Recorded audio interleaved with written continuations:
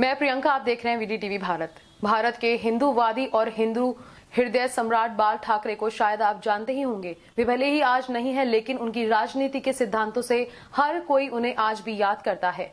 बाल ठाकरे ने एक राष्ट्रवादी दल की स्थापना की, जिसका नाम शिवसेना रखा। नेता के साथ साथ ठाकरे एक कार्टूनिस्ट भी थे। श्री ठाकरे अच्छे चित्रकार भी रह चुके हैं। मुंबई में खुंकार अंडरवर्ल्ड का सफाया करने में बाल ठाकरे का मुख्य योगदान रहा। इनसे पूरा बॉलीवुड और मुंबई के अन्य संस्थान घबराते थे। इनका मुंबई में काफ़ी राज और नाम रहा। बाल ठाकरे के एक इशारे से मुंबई थमसी जाती थी। श्री बाल ठाकरे ने अपने सफ़र की शुरुआत एक कार्टूनिस्ट के तौर पर की थी। बाल ठाकरे अंग्रेज़ी अखबारों के लिए नेताओं, खिलाड़ियों और अन्य वर्गों के लिए चित्रों को प्रकाशित करते थे।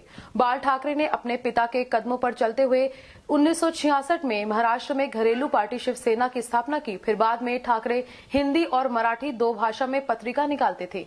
वे सामना मराठी अखबार और सामना हिंदी अखबार के जनक रहे, जो आज उनके बेटे उद्धव ठाकरे और आदित्य ठाकरे देखते हैं। श्री बाल ठाकरे अपने खरी खरी बातों और विवादास्पद बयानों के कारण हमेशा अखबारों की चर्चा में बने रहे। बाल ठाकरे का जन्म 23 जनवरी 1926 को पुणे, महाराष्ट्र में हुआ था। उनके पिता श्री केशव चंद्र सेनीय एक सामान्य परिवार से ताल्लुक रखते थे। इनके पिता एक सामाजिक कार्यकर्ता और एक अच्छे लेखक भी थे। धीरे धीरे इन्होंने मराठी लोगों के अंदर महाराष्ट्र के प्रति जोश भरा और हिंदूवादी विचारों को मिलाया। इन्होंने मुंबई को महाराष्ट्र की राजधानी बनाने में बहुत योगदान दिया।